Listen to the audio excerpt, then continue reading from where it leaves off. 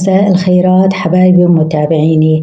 اليوم راح نكون في إنديانا وراح نسمع تفاصيل قصة مثيرة جدا وفيها تفاصيل الصراحة صعبة بحب أنبه من البداية.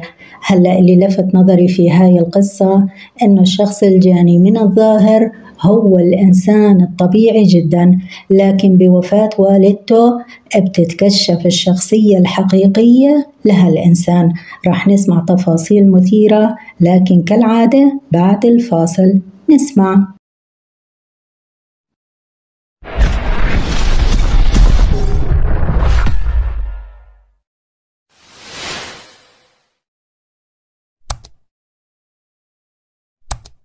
أبدأ بإني أعرفكم على ويليام جلايد جيبسون آه، اللي بدت شخصيته الحقيقية تتكشف بوفاة والدته.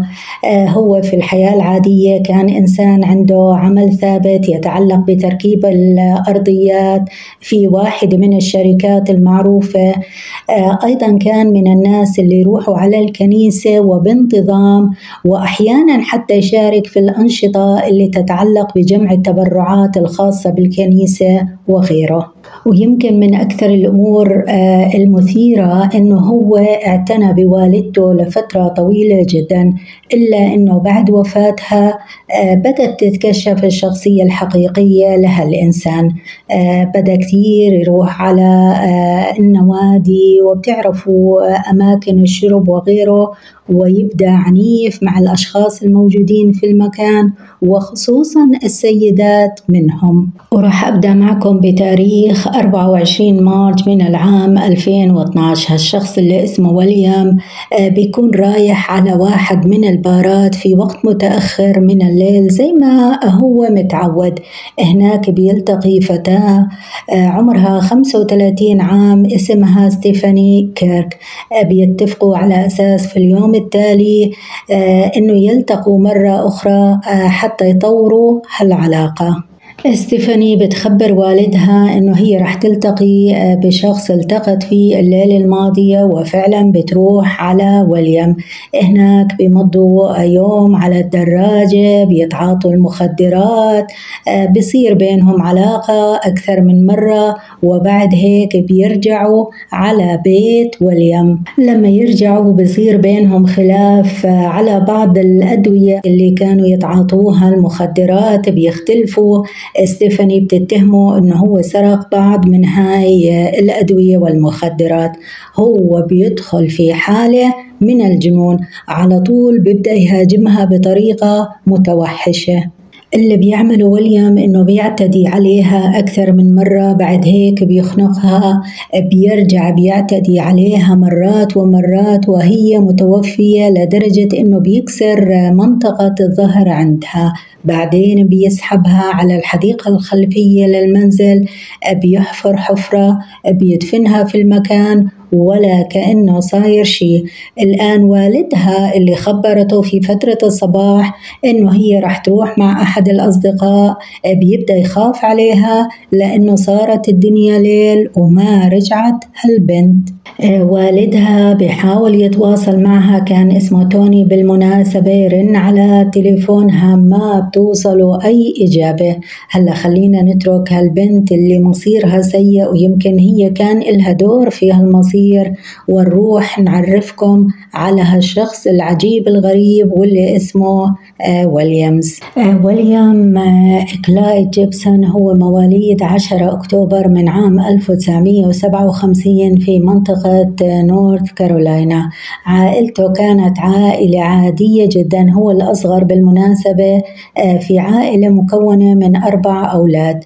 والده كان يعمل foreman في شركة من شركات اللي بتهتم بالشجر وغيره.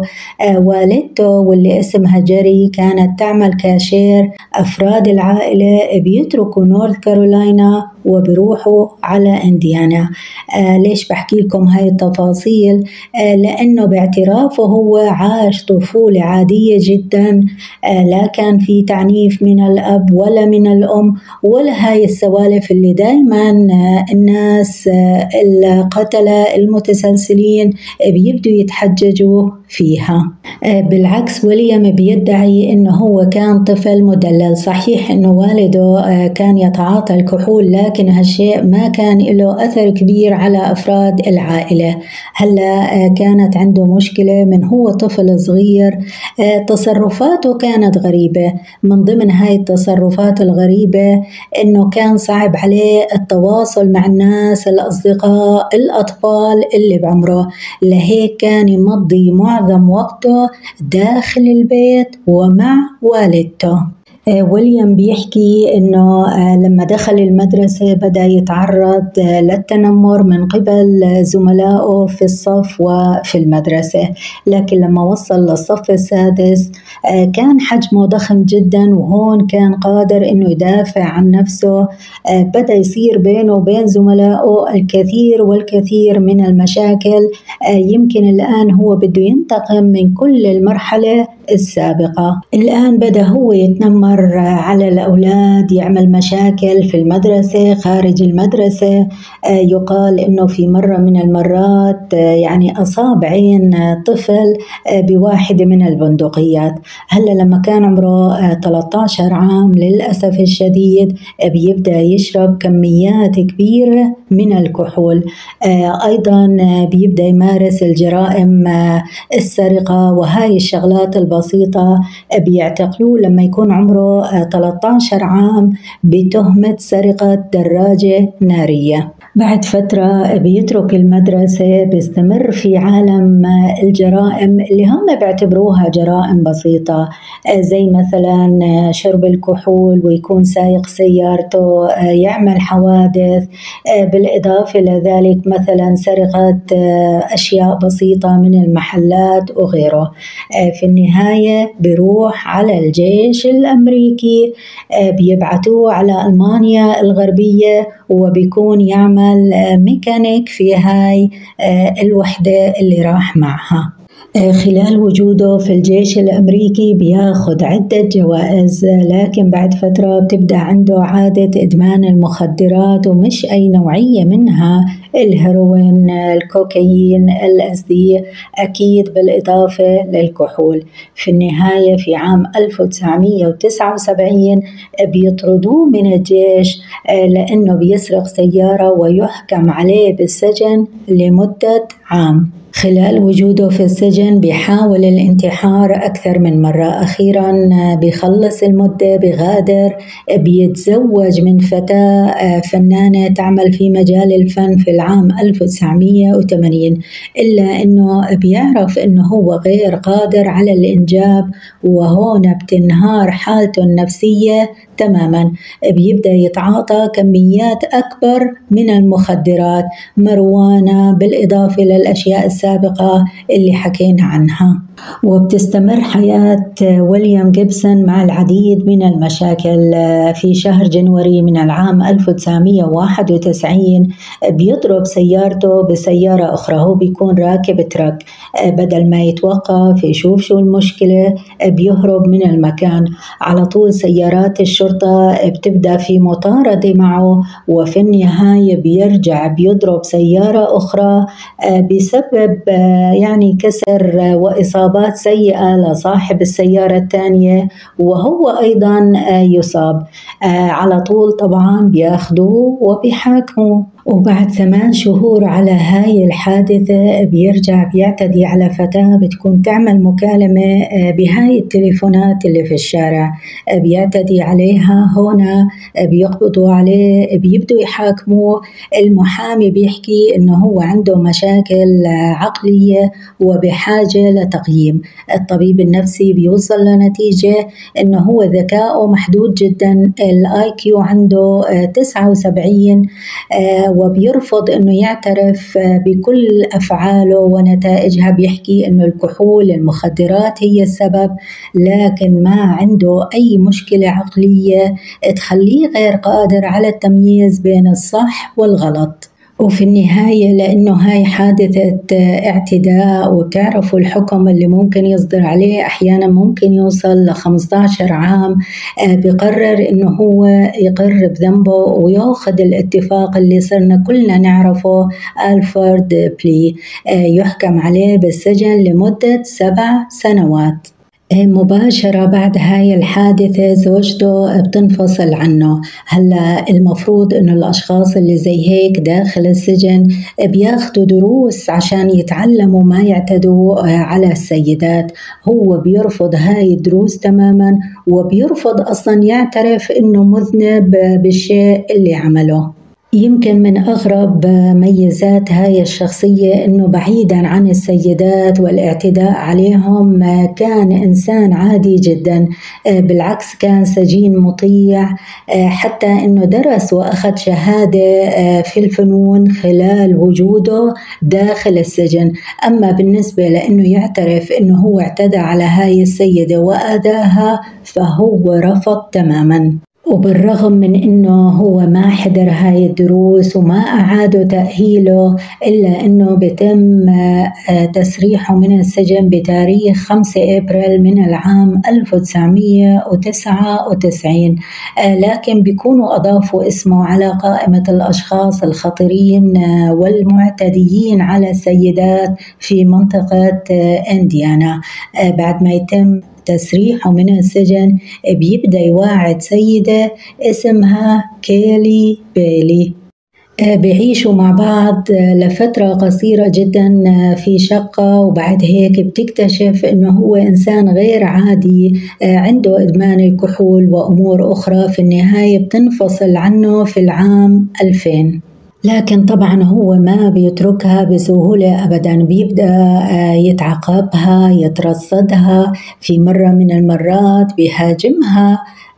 وهي بتوزع الجرايد بتروح بتخبر عنه رجال الشرطة إلا أنه آه، في النهاية ما بصير قضية لأنه ما عندهم أدلة كافية مع أنه لما راحت بلغت عنه كان في إصابات على وجهها لكن رجال الشرطة ما أخذوا الموضوع بشكل جدي. بيرجع بنفذ جرائم سرقة أخرى في النهاية أخيرا بيقرروا أنه هو عنده مشكلة عقلية بيحكوا بيعرفوا إنه هو bipolar disorder عنده آه، بيضعوه داخل المصحة حتى يتم علاجه آه، بالإضافة أكيد لإدمان المخدرات.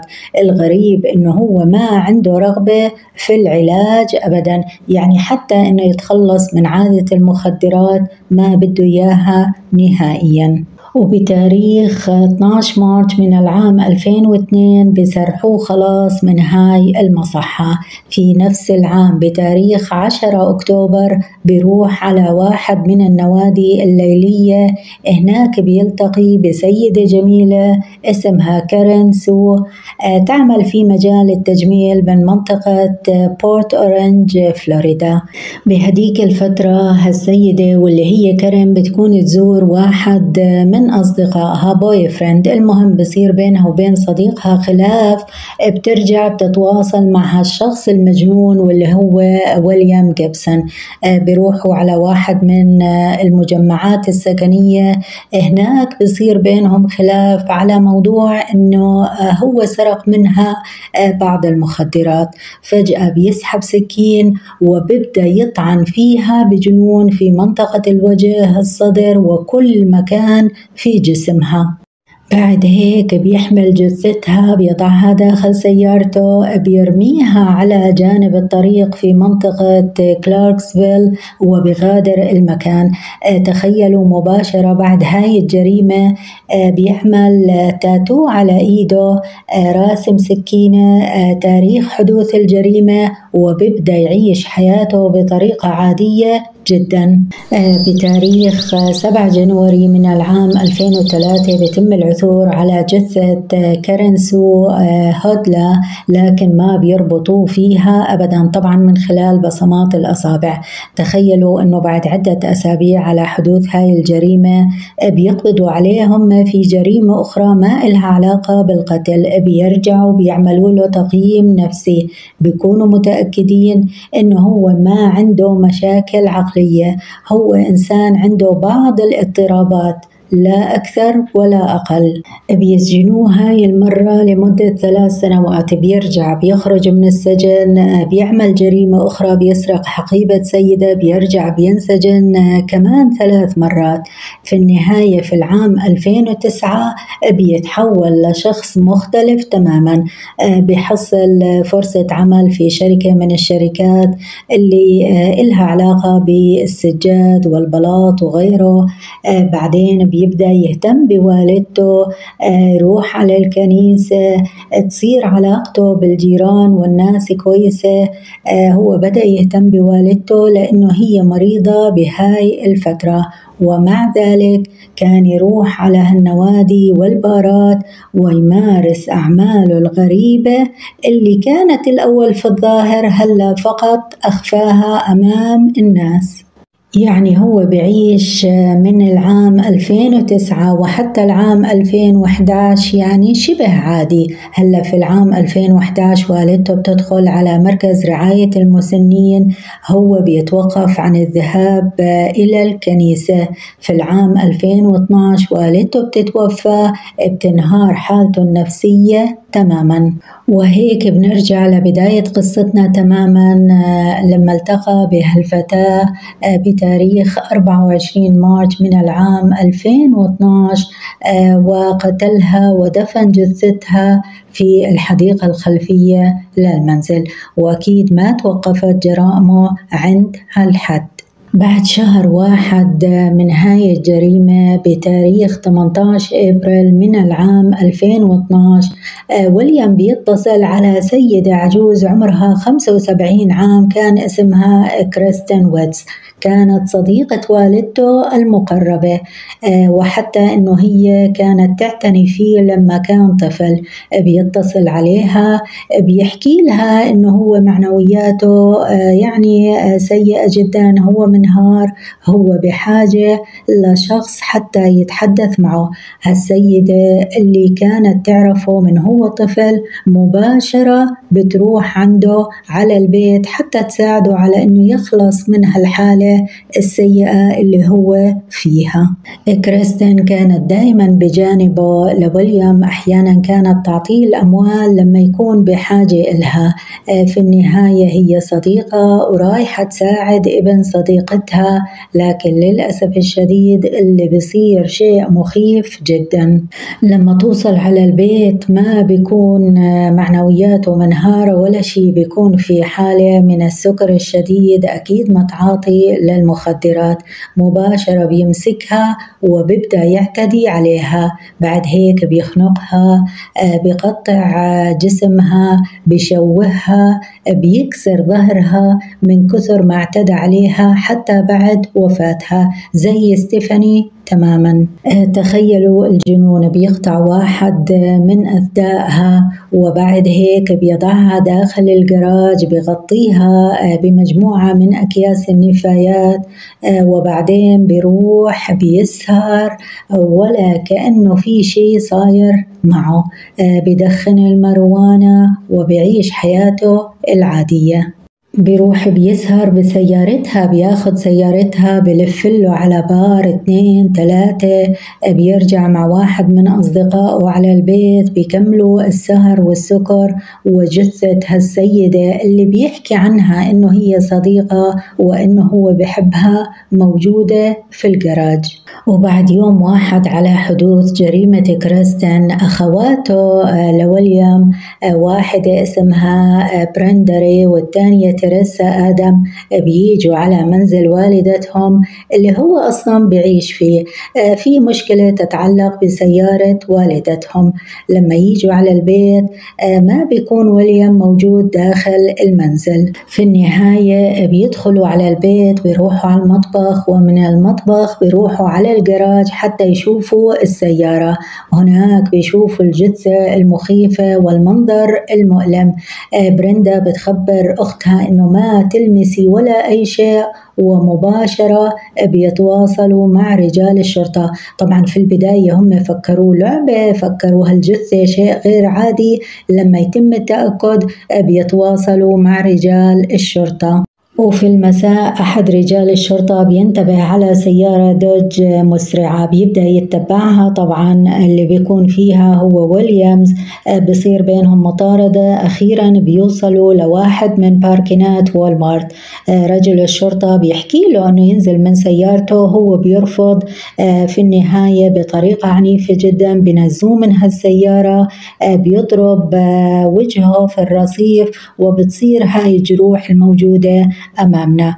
آه لما يفتشوا السيارة بيتم العثور على إشي داخل. آه بتعرفوا آه زي الكفوف بيتم العثور للأسف الشديد على إشي هيك بيفكروه في البداية إنه قطعة لحم أو غيره. في النهاية بيعرفوا إنه هو هالثدي اللي يخص السيدة وصديقة والدته كريستن حاملة وداير فيه في هالدنيا. وطبعا بيحولوا آه، جثة كريستن على الطب الشرعي وما تتخيلوا آه، الوضع اللي كانت فيه هاي الجثة. العمود الفقري آه، مكسور الأضلاع مكسورة الجمجمة فيها كسور. واضح إنه هالشخص يعني كان عنيف معها بطريقة حتى الطبيب الشرعي كان متفاجئ من كمية العنف اللي موجود على هاي السيدة. العجوز 75 عام. وأكيد في تفاصيل أخرى يعني صعب أحكي فيها الاعتداء على هالسيدة والمناطق الحساسة عندها بطريقة وحشية وغير عادية. يبدو أنه فعلا هالشخص يعني كل تقييمات الأطباء النفسيين السابقة ما بعرف إذا كانت صحيحة أو لا. في النهاية هاي سيدة تعتبر يعني زي والدتك وأنت المفروض كنت تحب والدتك. شو اللي صار؟ صار معه في هذيك اللحظات ما حد بيعرف نهائي. يمكن هي المخدرات والكحول على الأغلب هي المخدرات والكحول. وطبعا بعد ما يتم الكشف عن جثة كريستين بفتشوا آه، كامل المنزل والمنطقة المحيطة وهنا بيتم العثور على جثة ستيفاني كيرك. كانت موجودة في الساحة الخلفية للمنزل دافنها هناك. آه، أيضا بتم العثور على منشار آه، بيتم العثور على أكياس بلاستيكية بجانب جثة كريستين. واضح أنه كان عنده خطة يقطع أجزائها ويوزعها في كل مكان. إيه، هنا لما يتم القبض عليه ويبدوا يسألوه عن هاي الجرائم بيعترف بالجريمة الأولى اللي نفذها قبل عشر سنوات في العام 2002 آه، بحق هالسيدة اللي عمرها 44 عام واسمها كارين هادلا تخيلوا خلال التحقيق معه بيحكي بطريقة يا جماعة يعني غير عادية أبدا. إنه أنا يعني القتل عندي موضوع عادي جدا. ممكن أعمل جريمة قتل وبعد هيك أروح أتعشى. ما بيهمني الموضوع نهائيا ولا عنده أي نوع من المشاعر الأحاسيس كل هاي الأمور مغيبة. تماما. بتبدأ محاكماته والغريب إنه هي محاكمات منفصلة في كل الأحوال هو بياخذ عقوبة الإعدام في جميع القضايا. آه، خلال المحاكمة واحدة منهم آه، بتم عرض آه، التحقيق اللي صار أول ما تم القبض عليه. بيحكي إنه الشر سيطر عليه تماما وإنه هالشيء هو اللي أجبره على القيام بالجرائم مش هو اللي عمل الجريمة. لا الشر أجبره على أنه ينفذ هاي الجرائم. خلال واحدة من محاكماته آه، زي ما أنتم شايفين ما بعرف كيف عامل. المهم إنه كاتب على رأسه هالعبارة اللي أنتم شايفينها أمامنا death row X 3 وكأنه عارف إنه هو راح يحصل في النهاية عقوبة الإعدام. هلا بعد ما يحصل هالعقوبات بيكون عنده عدة محاولات للاستئناف جميعها بتفشل. وخلال وجوده في السجن بيعمل عدة مقابلات. في واحدة من هاي المقابلات تلفزيونية طبعا بيحكي إنه هو مسؤول عن ثلاثين جريمة قتل آه، في أنحاء الولايات المتحدة الأمريكية. أيضا بيحكي أنه هو آه، يعني من الناس اللي بياكلوا آه، لحوم البشر بيشربوا الدم والجثث وهاي السوالف الغريبة. لكن رسميا ما تم إثبات هالشيء أبدا. وبعد الحكم عليه بيبدأ يحكي إنه هو في العام 2000 قتل سيدة اسمها إليزابيث بانستر طعنها أثناء وجودها في منزلها في منطقة إيفانسفيل لكن لحد الآن ما أثبتوا هالشيء نهائياً. آه، بس خليني أوضح نقطة مهمة. هو حصل عقوبة الإعدام في قتل ستيفاني وأيضا في قتل صديقة والدته كريستين فيما يتعلق بالفتاة الأخيرة آه، فهو أقر بذنبه لهيك حكم عليه بالسجن لمدة 65 عام. آه، أحد اليوتيوبرز المشهورين واللي بيهتموا بهالنوعية من القصص بيتواصل معه خلال فترة وجوده في السجن. هالشخص بيكتب له رسالة. الصراحة يعني آه، صعب جدا أنه أوصف تفاصيلها. بيحكي فيها أشياء مخيفة.